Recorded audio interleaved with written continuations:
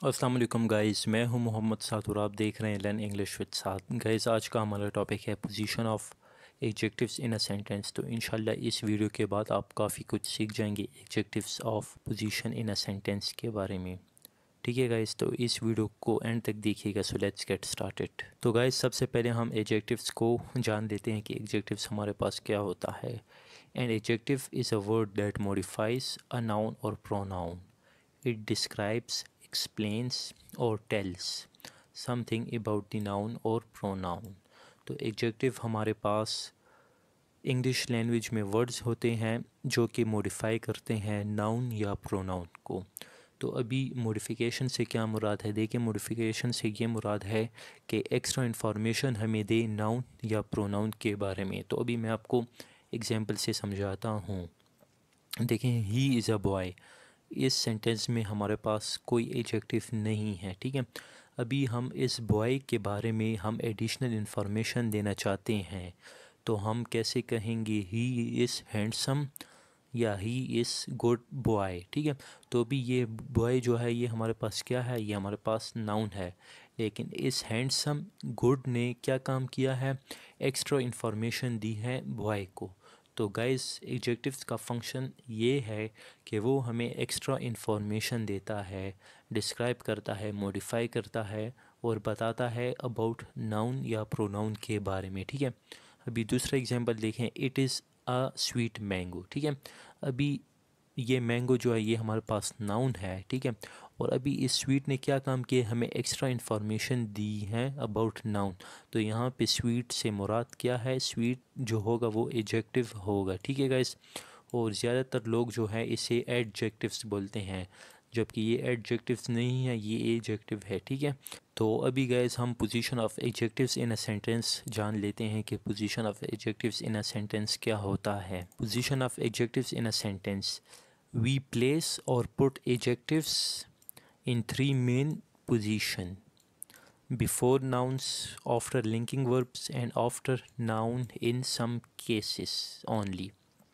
तो position of adjective ये है कि हम एजेक्टिव को तीन किस्म से यूज़ कर सकते हैं सेंटेंस में। बिफोर नाउन नाउन से पहले after linking verbs linking verbs के बाद, और after nouns in some cases ठीक है? तो हमारे पास पहले यूज़ जो है वो बिफोर नाउन है। तो गैस इस बिफोर नाउन्स को हम एट्रीब्यूटिव पोजीशन भी कह सकते हैं, ठीक है? फिनेशन से समझते हैं। Adjectives are placed before nouns so that they modify nouns यानी इसका ये मतलब है कि वो एजेक्टिव्स जो हम यूज़ करते हैं बिफोर नाउन उनको हम एट्रीब्यूटिव एजेक्टिव कह सकते हैं, ठीक है? तो अभी देखें, मैं आपको एग्जांपल से समझाता हूँ। For example she is a hard working student ठीक है?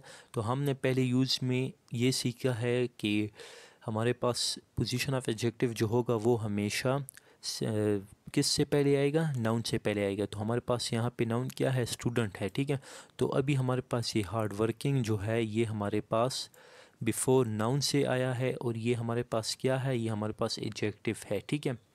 अभी मैं आपको दूसरे एग्जांपल से समझाता हूँ। It is a big and expensive house तो ये हाउस जो है, ये हमारे पास नाउन है और बिग एंड एक्सपेंसिव जो है, ये हमारे पास क्या है? ये हमारे पास एजेक्टिव है और हमने पहले रूल में ये सीखा है, जिसे हम एट्रीब्यूटिव पोजीशन भी कह सकते हैं कि नाउन से पहले हमारे पास एजेक्टिव आएगा तो हम उन्हें एट्रीब्यूटिव पोजीशन कह सकेंगे। ठीक है गाइस तो अभी एट्रीब्यूटिव एजेक्टिव पोजीशन जो है, हम इसे कैसे बना सकते हैं? हम जो है, पहले हम एजेक्टिव का यूज़ करेंगे और उसके बाद हम नाउन का यूज़ करेंगे। ठीक है गैस तो अभी देखें, जैसे कि हम एजेक्टिव की बात कर रहे हैं तो हमें एग्जेक्टिव जो है, हमें एक्स्ट्रा इन्फॉर्मेशन देते हैं अबाउट नाउन या प्रोनाउन ठीक है?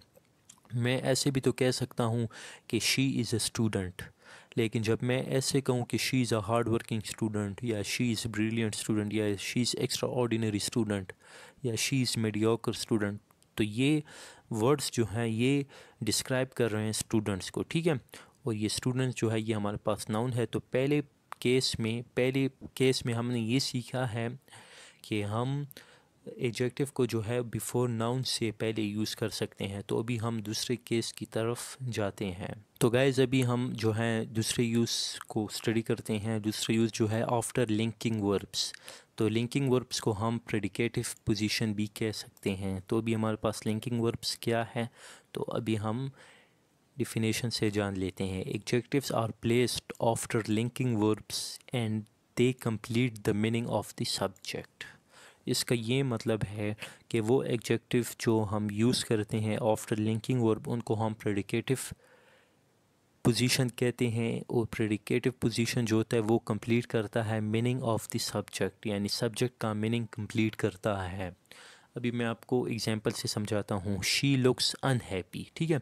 तो अभी यहाँ पे लुक्स जो है, ये हमारे पास वर्ब है। ठीक है? और वर्ब के बाद हमारे पास क्या आया है? अनहैप्पी और अनहैप्पी जो है, ये हमारे पास एजेक्टिव है। एजेक्टिव ऐसे है कि यहाँ ये अनहैप्पी जो है, ये सब्जेक्ट के बारे में बता रहा है, जो कि हमारे पास शी है और शी जो है प्रोनाउन है। तो एजेक्टिव का काम यही होता है कि हमें प्रोनाउन नाउन या प्रोनाउन के बारे में इंफॉर्मेशन दे तो हम उसे एजेक्टिव कहते हैं। तो यहाँ पे हमारे पास शी जो है, ये सब्जेक्ट है। और सब्जेक्ट के बाद हमारे पास वर्ब्स आया है और हमने दूसरे केस में ये सीखा है कि लिंकिंग वर्ब्स के बाद हमेशा जो है, हम प्रेडिकेटिव पोजीशन को यूज़ करते हैं, ठीक है? अभी मैं आपको दूसरे एग्जांपल से समझाता हूँ। They are friendly and helpful ठीक है? अभी यहाँ पे आर जो है, ये हमारे पास वर्ब है और वर्ब के बाद फ्रेंडली एंड हेल्पफुल आया है, जो कि हमारे पास एजेक्टिव है और ये हमारे पास कौन सी पोजीशन होगी? ये हमारे पास प्रेडिकेटिव पोजीशन होगी, क्योंकि ये हमारे पास आफ्टर वर्ब आया है। और ये देखें, हमने ये सीखा है ना कि they complete the meaning of the subject तो अभी यहाँ पे they are friendly and helpful तो कौन फ्रेंडली और हेल्पफुल है? तो लाजमी बात है कि दे ठीक है? तो सब्जेक्ट को कंप्लीट कर दिया है या नहीं मीनिंग के लिहाज से प्रेडिकेटिव पोजीशन जो है वो सब्जेक्ट के मीनिंग को कंप्लीट करता है। और प्रेडिकेटिव जो है वो हम कब यूज़ करेंगे? हम वर्ब के बाद यूज़ करेंगे। और गाइस ये जो है, आप देख सकते हैं, ये इसका स्ट्रक्चर है। सब्जेक्ट सब्जेक्ट जो है, हमारे पास दे भी है और शी भी है। फिर हमारे पास वर्ब है वर्ब आर भी आ सकता है और लुक्स भी आ सकते हैं और फिर हमारे पास एग्जेक्टिव आ सकता है। आप एक एग्जेक्टिव भी यूज़ कर सकते हो और आप मोर देन वन एग्जेक्टिव भी यूज़ कर सकते हैं। तो पहले यूज़ में हमने सीखा है कि बिफोर नाउंस आते हैं और दूसरे यूज़ में हमने एग्जेक्टिव सीखे हैं। एग्जेक्टिव अपोजिशन के आफ्टर लिंगिंग वर्ब्स के बाद आते हैं। तो अभी हम मज़ीद समझते हैं। तो गाइज़ अभी मैं आपको डिफिनेशन से समझाता हूँ। However adjectives in some cases adjective phrases and adjective clauses may be placed after the noun they modify ठीक है, वही बात कि गैस बहुत कम zero point one percent cases में नाउन के बाद हमारे पास एग्जेक्टिव आते हैं और वो एग्जेक्टिव जो होंगे या एग्जेक्टिव फ्रेज़ होंगे या एग्जेक्टिव क्लास होंगे जो कि मॉडिफाई करेंगे, जो कि एडिशनल इंफॉर्मेशन देंगे अबाउट नाउन तो अभी मैं आपको एग्जांपल से समझाता हूँ। The soldier. अभी यहाँ पे सोल्जर जो है, ये हमारे पास क्या है? ये हमारे पास नाउन है। तो थर्ड केस में गाइज़ हमने ये सीखे कि हमारे पास नाउन के बाद हमारे पास एग्जेक्टिव क्लास आएँगे या एग्जेक्टिव फ्रेज आएँगे। तो देखें, अभी यहाँ पे the soldier fearless and determined attack the enemy ठीक है? तो अभी यहाँ पे फेयरलेस एंड डिटरमेंट जो है, ये किस चीज़ के बारे में बात कर रहे हैं? तो ये जो है, ये सोल्जर के बारे में बात कर रहे हैं और जो कि हमारे पास नाउन है, ठीक है? अभी मैं आपको दूसरे एग्जांपल से समझाता हूँ। I don't know the man who is standing over there तो यहाँ पे देखिए मैन जो है, ये हमारे पास नाउन है। और तीसरे यूज़ में हमने ये सीखे कि नाउन के बाद भी हमारे पास एजेक्टिव फ्रेजेस या एजेक्टिव क्लासेस आ सकते हैं। तो वो स्टैंडिंग ओवर देयर ठीक है? तो अभी ये ओवर देयर वो स्टैंडिंग जो है, ये किस चीज़ की बात कर रहा है? ये किसके बारे में बात कर रहे हैं? ये मैन के बारे में बात कर रहा है, ठीक है? तो गैज़ उम्मीद करता हूँ कि यहाँ तक आप सबको समझ आई होगी। और दूसरी बात कि यहाँ पे आप आर्टिकल दा देख सकते हैं, ठीक है? तो आर्टिकल दा का यूज़ भी जो है, वो हम हमेशा नाउन के साथ करते हैं। इनडेफिनेट प्रोनाउन या इनडेफिनेट और एजेक्टिव्स के बाद हम किसका यूज़ कर सकते हैं, हम एजेक्टिव का यूज़ कर सकते हैं। तो हमारे पास इनडेफिनेट प्रोनाउन या इनडेफिनेट एजेक्टिव जो है एनी वन है एनी बॉडी है सम वन है सम बॉडी है एवरी वन है एवरी बॉडी है, ठीक है? तो अभी हम इसका यूज़ देखते हैं, देखें। I wish I could find someone perfect for this job तो यहाँ पे हमारे पास परफेक्ट जो है, ये हमारे पास एजेक्टिव है और परफेक्ट से पहले जो है, हम इनडेफिनेट प्रोनाउन या इनडेफिनेट एग्जेक्टिव का यूज़ कर सकते हैं, जो कि हमारे पास सम वन है, ठीक है? तो अभी मैं आपको दूसरे एग्जांपल से समझाता हूँ। We can give this clothes to anybody tall ठीक है? तो यहाँ पे टॉल जो है, ये क्या है? ये हमारे पास एजेक्टिव है, ठीक है? और एनी बॉडी जो है, ये हमारे पास इनडेफिनेट प्रोनाउन है तो हम इनडेफिनेट प्रोनाउन के बाद भी हम एग्जेक्टिव का यूज़ कर सकते हैं। ठीक है गाइज़ तो यहाँ पे टॉल जो है, ये हमारे पास एग्जेक्टिव आ गया और एग्जेक्टिव से पहले हम anybody anyone everybody someone यानी इनडेफिनेट प्रोनाउन या इनडेफिनेट एग्जेक्टिव का यूज़ कर सकते हैं।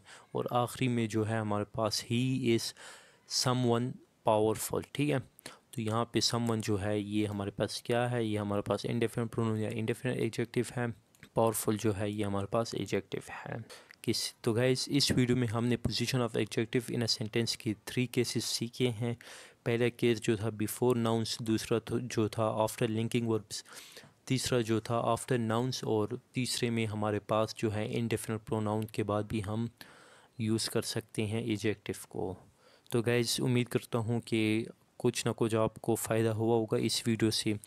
तो गाइज़ ये हमारा आज का टॉपिक था मज़ीद वीडियोस को देखने के लिए। हमारे चैनल को सब्सक्राइब करें लाइक करें और ज़्यादा से ज़्यादा दोस्तों के साथ शेयर करें और घंटी के आइकन को प्रेस करें ताकि हर आने वाली वीडियो आप तक पहुँच सके। अल्लाह हाफिज़।